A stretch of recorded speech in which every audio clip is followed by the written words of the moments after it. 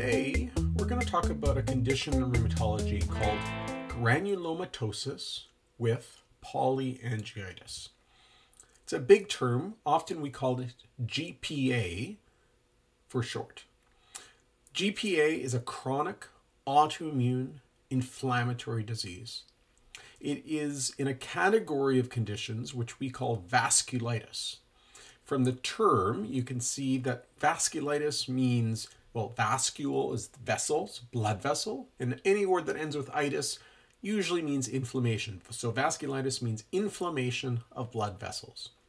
That inflammation leads to poor blood flow or can be completely blocked blood flow and can also result in bleeding. Vasculitis can affect anyone, so GPA can affect anyone, although more common uh, older than 40, but certainly at any age. And important to note, it's not an inherited condition and it's not infectious either. You can't catch it from someone else. It's also important to know that this term, GPA or granulomatosis with polyangiitis, is a relatively new term over the last 10 plus years, as this condition used to be called Wegener's granulomatosis, but we're going away from eponym names, meaning naming conditions after individuals. Granulomatosis with polyangiitis is inflammation most often of the small, very tiny blood vessels. That inflammation, because we have blood vessels everywhere, can affect a variety of different places in the body. That includes the nose or sinuses with GPA, throat, lungs, kidneys, but can also include skin, joints, heart, really anywhere because we have blood vessels anywhere. But there are, these are areas that we would see more commonly with GPA. And because of that, there are many symptoms that we can see present for people who have GPA. So, nosebleeds or a stuffy nose, crustiness around the nose. Some people, if, if it goes on, a hole can actually develop uh, in the wall between your nostrils. You can get a dent in the bridge of your nose. You can have eye problems, ear problems, mouth problems, coughing, shortness of breath, chest pain, could be less specific fevers, night sweats, loss of appetite, fatigue. Certainly, as with many rheumatology conditions, you can have joint pain and swelling, you can have skin rashes and problems, and kidney problems as well. And this is certainly not a complete list. How is GPA diagnosed? So, important usually to have a rheumatologist involved.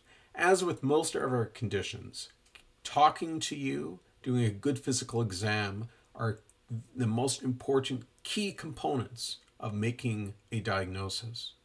There are tests that can fit, but not necessarily are always diagnostic of GPA. So, your rheumatologist, your doctor will usually do a number of blood tests. A lot of them are kind of common blood tests, so looking at a complete blood count, doing tests looking at your kidney and function, looking at markers of inflammation. There is an antibody test called an ANCA test or anti neutrophil cytoplasmic antibody, which can be done, which is associated with GPA. So, a positive ANCA test and a particular type of positivity can more suggest GPA in someone with the right history and exam. Although I should note a positive ANCA without the right history and physical exam does not necessarily mean someone has a vasculitis. In some people, will the rheumatologist will actually call the condition vasculitis as opposed to GPA. There's a few different types of vasculitis, and sometimes it may be hard to say it's GPA specifically or the family of vasculitis. Fortunately, treatment is pretty similar across the board.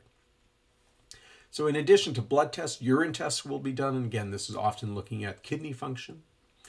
Imaging a variety of different areas of the body can be helpful, but more commonly looking at chest imaging, be it an x-ray, a CT scan, as well as sinuses.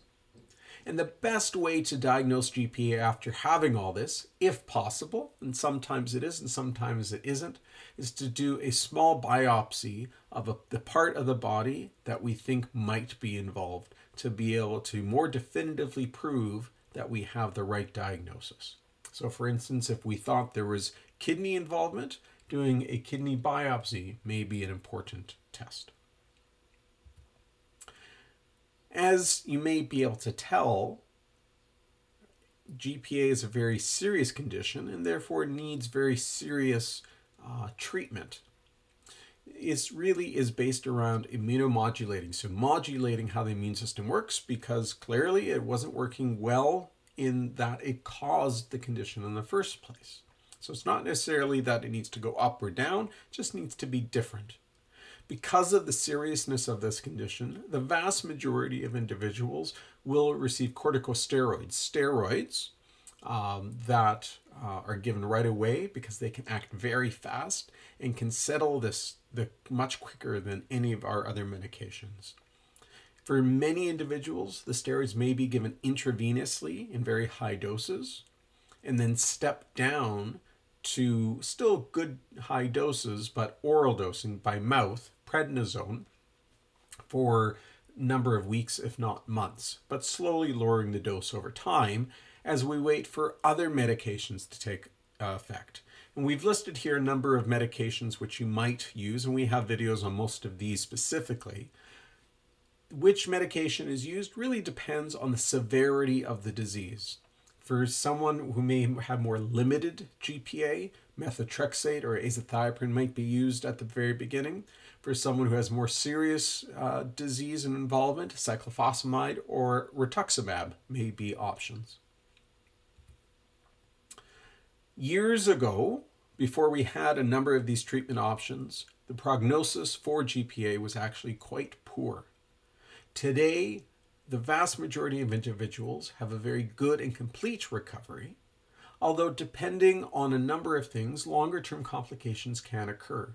We talked about sometimes damage to that nasal septum can happen, or sometimes even feeling chronic sinus irritation. Kidney failure, if we don't act quick enough or treatment isn't effective, can happen.